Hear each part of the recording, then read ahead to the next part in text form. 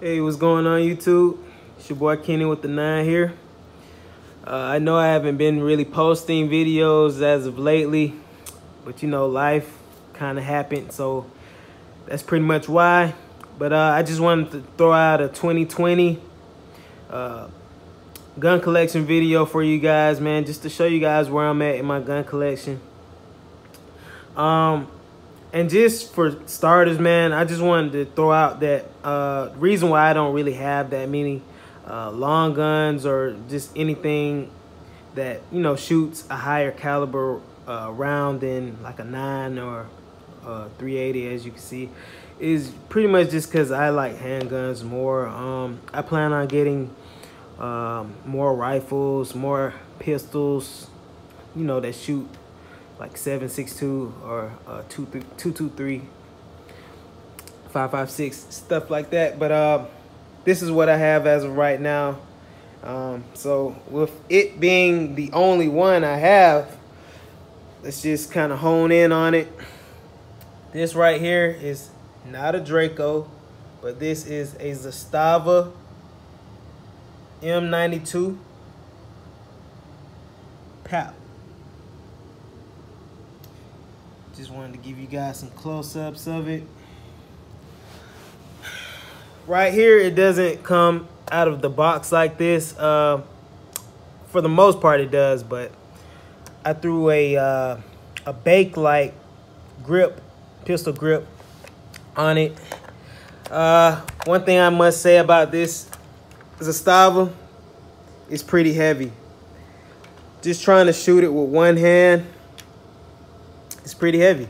Um, this man, I mean, you can do it if you're strong enough, but you know, for the average guy, you could probably get like one to two shots out before you're like, fuck that. Um, I tried to refinish the handguards.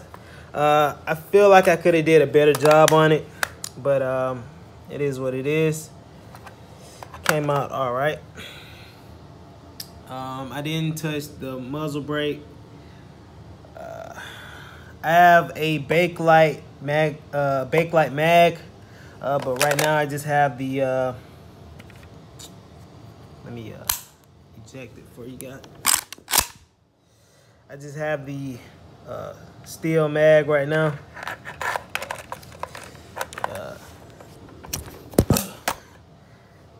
Doing this one hand, you guys. Sorry about that. Um, yeah, but I just have that in right now. Um, but overall, man, I love this gun. Uh, it's very collectible, man. A lot of people like to say it's a novelty gun. Um, I don't plan on using it for novelties or nothing like that. It's solely for protection with me. Um, but enough about the Zastava M92 PAP. Let's move on to the very first gun that started my collection. It's not the very first gun that I've had. I've had probably like 15 guns before this, but this is the first gun that started the collection where I started collecting. As you guys should know, I'm pretty sure everybody knows what this gun is. This is the Taurus PT 111 G2 Millennium. Forgot to say Millennium. The PT 111 Millennium. Um, but yeah, man, um, uh, as you guys can see, it's not the you know the standard black slide. I um, took the finish off because it was once a black slide, but the finish was wearing off, so I just stripped it off. But uh, I didn't uh, I didn't polish it to where it was just chrome, shiny chrome. I left like a lot of dark spots on it just to give it like a shadowy look. And um, man, I just didn't been through it all with this gun, man. Um, I don't really have too much going on with it. Uh, I did have a laser attached, but uh, in the near future, I might just, you know, buy a light for it, like a uh, PL Valkyrie or something like that. Something, I don't know. Um, I don't like that it has a safety, but I don't ever use it, so my gun is always on fire. Yes, it's loaded. All my guns are loaded. Uh, I'm not going to take any ammo out for the video because, you know, I stay in Atlanta.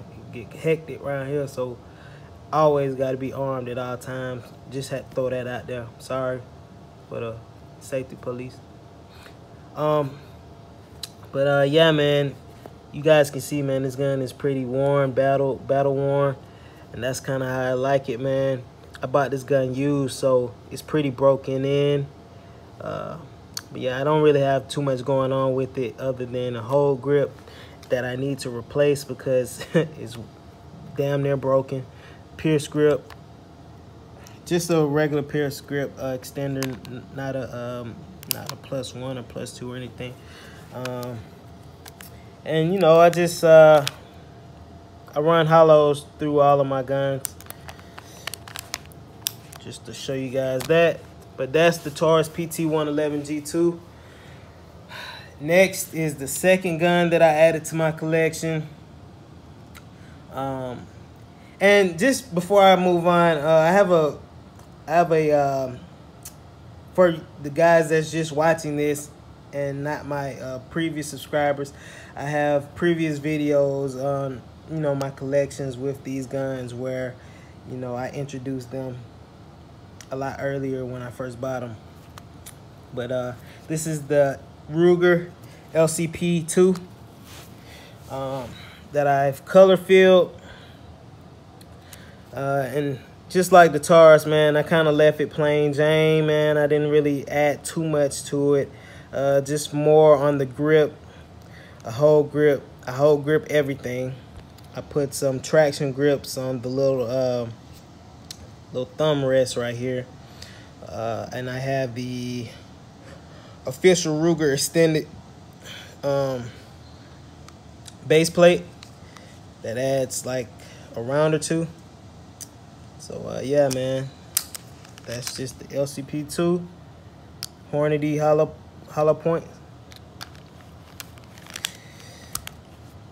All right, just a just a secondary uh, gun I like to carry with me at times. Uh, my third and my most favorite gun out of my whole collection is the Glock 26 Gen 4. Now this gun I had bought for, I got a good deal on this gun, man. I bought this gun for around 435, something like that. Which is pretty good, man, for a Glock 26 of this condition. Um, so I bought it for 435 and then man, I just went crazy, man. Like I wasn't even a Glock guy before I got this Glock. I was like, fuck Glock. I was I was hating on Glock because I didn't have one and everybody used to talk about how good they are. And I was just like, damn. But it was always low key my dream gun to have though. But I always used to hate on the shit. So when I finally got the money, I was like, you know what? I'm gonna go ahead and buy a Glock, bro. See what the big whoop was about. And you know, check out the reliability, see what everybody was just talking about. So I bought one and I wanted this specific one. I wanted the Glock 26 Gen 4. Uh, so that's what I told the guy I wanted. Gave me the uh, Glock 26 Gen 4. I took it home. And man, I just couldn't put it down, man. Like, just, you know, and I bought it used. Just, um, just how it came, man. Everything was just pristine, damn near. Um, but I spent so much money on this gun. I, I, I probably had to have spent like fifteen hundred dollars on top of the four uh four fifty if you had the tax on top of the four fifty, and I just done did so much shit to it. Like it's crazy. Excuse my French, but um, we all grown here. Uh, stainless uh, barrel AmeriGlo, Ameri I'm sorry, AmeriGlo night sights. Show you guys that. If you can see, come on, focus. AmeriGlo. Red front sight, uh, blacked out rear. Stainless Glock 26 uh, back plate, back slide plate. Uh, stainless slide release, stainless pin, stainless uh, mag release, uh, silver trigger, like a chrome, Dawson Precision. Like I'm telling you, man, I just fucking Gucci the hell out this thing, man. Dawson, uh, um, like a chrome, well, I wouldn't want to call it chrome. It is kind of chrome. Like a chrome Dawson Precision uh, base plate magazine sleeve so I can hold a Glock 19 magazine in it. Same like all my other guns, hollow point. Uh, color filter mag, color filter slide, uh, hole grip, traction grips on the thumb rest, uh, TruGlo laser. Man, I just I just went all out, but um, it was a project gun, as all pretty much all Glocks that anybody buys are. Um, oh, can't forget the recover rail. I really I really like this gun, man. Like it's my favorite one. Probably any gun that comes into my collection won't trump this gun. This is probably going to be my favorite gun out of my entire collection for even the guns that I add to it in the near future. I just really love the Glock 26 Gen 4. I like the blockiness of it. I just love it, man. Um, regardless of the ergonomics on other pistols, might be better. I just like the Glock 26. I, I don't know what to say. I'm a Glock guy now. but um, that's that on that. Just had to give you guys the rundown on that one. Fourth would be my trusty DB9, Diamondback DB9 by Diamondback Firearms. Now, first off, I know you guys are going to say, where the hell is this guy's slide release? Um, I took it off. Reason why is because the slide release, well, let me eject the mag and just, you know, show you guys. Um, hold on, let me take that out the slide release, when I would pull the slide back, it would just get caught every time I would pull the slide back without a magazine in it. Like it would just get caught. No gun should do that. No gun should get caught on the slide release if there's not a magazine in there. You know, for any first time shooters that don't know that and you're thinking about buying a DB9, that's not normal. If you have a magazine, an empty magazine in your pistol, and you pull the slide back, the slide release should catch and it should hold it open for you to put one in the head. If it's not a magazine in your gun, it should not catch none whatsoever. If it does, something's wrong with the slide release. Um, I don't want to call it a spring, but uh, whatever actuates the slide release in your gun, something's wrong with that. Um, and you have to fix it. But uh, like any gun that I get, man, I tamper with it and I tamper with it and I run tests through it just to make sure that it feeds well. And another thing, sorry about that. Another thing that this gun had, a problem that this gun had was, um, what was it? Oh, it wouldn't chamber at times. Like I would just, you know, just rack the slide and just try to feed the gun and it wouldn't chamber at times. So it would jam and get stuck. And I'm pretty sure some of you other guys have uh, had that same problem.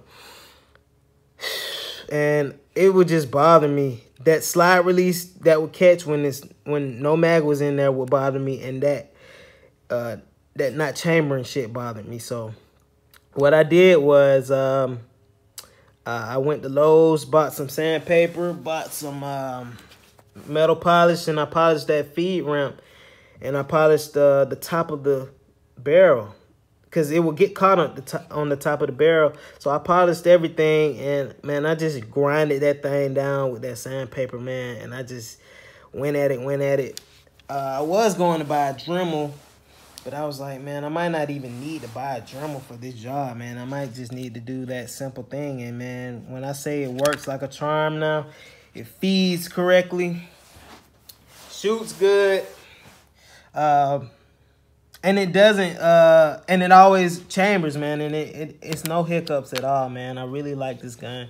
Uh, this gun, um, it looks Glock-like. Uh, one thing I don't like is just the, um, I don't like how that trigger, man, has all that play, man. Like, it has a lot of play with it. But, I mean, I bought it for $250. So, it's, I mean, that's kind of what you get, man. You get what you pay for, man. But uh, that's pretty much it on the DB9, man. Um, I have a laser on the way forward and a hold grip because I hold grip everything, like I said. But uh, yeah, that's pretty much it on the Diamondback DB9. Put that back in for you guys. Um, and last but not least, what I have here is the Smith & Wesson M&P 9 Shield 2.0. Uh, I've been desiring this gun for a long time. Very long time. And uh, I finally got my hands on it yesterday. So this gun is pretty, it's the newest of my collection, man. It's fairly new. Um, I bought it used, though. I buy all my guns used. I don't like that new out-the-box shit. It's too much break-in period. It's too much, It's just too much shit you got to do, man, to get it everything loosened up and get the gun comfortable, you know what I'm saying? But, um, man, it's just, man, this gun is just so premium, man. I just like premium shit. I mean, I know some of these other guns are kind of cheaper, but I just, I, I like premium shit. That's why I'm starting to buy more premium guns and not waste my time with the bullshit guns. But, man, it's just the takedown is easy. The, um... I wish I had like a tripod or something, something that could hold my camera so I could, you know, show you guys a lot of the features on this gun, man. But uh, from what I can show you guys, man, I like that it has a hole on the top of the slide. Um, I haven't gotten to shot it, shoot it yet, but um, when I do shoot it, I'll let you guys see that. Um, I like the sights. They're metal sights, man. They're very on point. Very on point. Um, I like the texture of the frame, man. It just it just feels so good in the hand. Um, it doesn't feel like it'll fly at your hand or anything. The only thing that I kind of wish was that it was a more beefier uh, frame. You know, add a couple more centimeters and uh, a little bit more weight to it. Um, but other than that, man, I just like the gun, man. I like the trigger. I don't think I'm going to change the trigger out or anything. But I am going to add a recover tactical rail on this because I don't really like the uh, add-on to frame lasers or lights or whatever they have out there. I like, you know, the traditional, you know, pic rails so I can, you know, add add more shit. I can add more stuff. Um, I like that it doesn't have a safety on it. I don't like safeties. I used to. I don't no more. You know. One thing I want to say about safeties, man, and this is just honestly how I feel. And I might lose subscribers for this. I might get cursed out in the comment section for this, but it is what it is. This is how I feel. Um, if you feel like you have to have a safety on your gun, um, I want you to try to become comfortable with not having one. Just due to so many stories about people dying with their safety being on and they just get to trying to shoot their target or the threat and the safety's on and they die. And they died because of that. Um, so it's just kind of a hindrance. It's in the way. Um, if you just honestly, I'm gonna just go ahead and spit it out. I'm not trying to beat around the bush no more. If you feel like you gotta have a safety on your gun, you just don't need no gun. Because one thing about guns, internally they should be safe. If they have to be safe on the outside, then I don't know. That's just how I feel. You don't need no gun if you can't remember to not pull the trigger. And you know you loaded it and you know you you got one in the head. If you can't remember that, you know what I'm saying? Like my girl, man my girl says she don't like to sleep with her gun by her. I told her, you don't need no gun then. Although she does, and she's gonna always have one because I'm with her. But anybody that that feels like they'll wake up out they sleep and shoot themselves in the head or something, just some dumb shit. You don't need no firearm. You don't need no gun. Honestly, if you feel like you gotta have an external safety, bro, like because you're you're clumsy as fuck. If you if something does happen, you clumsy as fuck. You don't need no gun. Um, if you can't remember that it's loaded, cause I always remember. I always remember. I I built a practice to double check every time that I even pull my trigger to dry fire it, I always double check like two, three times before I even pull the trigger. And I never put my finger in the trigger guard. Inside of the trigger guard, I always leave my finger up here. But when I do pull the trigger, I double check, triple check, quadruple check my guns like before I pull them triggers. You know what I'm saying? It's just that on that. Like, I just had to throw that out there. But you guys, it was a pleasure to show you guys my um, 2020 gun collection. And I hope you guys liked what you've seen. I hope I've uh, inspired some people to go get some of these guns, you know. But um, just, you know, leave me some good feedback. Tell me what I should change. Tell me what I should improve. Tell me what, just tell me the whole thing, man. Just leave me some good comments. Like, uh, comment, subscribe, man. It's your boy Kenny with the nine, man. Love you guys, man. I'm out, man.